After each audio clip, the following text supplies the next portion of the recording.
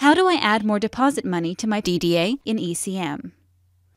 To add more deposit money to a DDA, click DDAs and select Active DDAs. Click the Add More Money button for the DDA to which you would like to add deposit money. Enter the amount you would like to add in the New Deposit field and click Add to Cart. Indicate that you have read and agree to the order terms and agree to pay for your e-content order by checking the box. Click Finalize Order to complete your purchase. After completing your purchase, EBSCO will send you an invoice for the deposit amount. At any time, you can access help information by clicking the help link found at the top of the screen. Within the online help system, a full range of topics are available